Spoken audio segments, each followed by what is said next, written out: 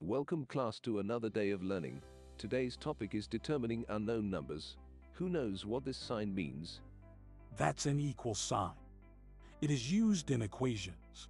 The right side of the equation and the left side of the equation must have the same value. Right you are. Here is an equation. 4 plus 5 equals 5 plus x. Today we need to figure out what that x equals. Ray told us the equal sign tells us both sides have to be equal. We start by finding the value of the right side. What is the value? 5 plus 4 equals 9. That's right Stella.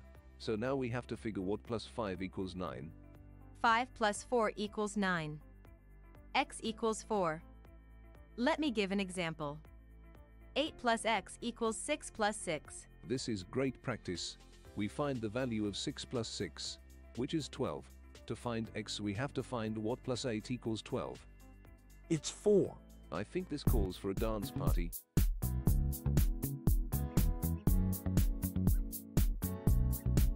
Last one.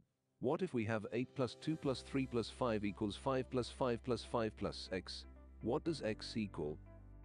The right side equals 18. So we have to make the left side equal 18.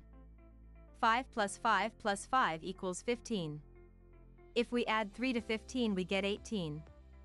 x equals 3. Splendid. You all are ready to practice on your own.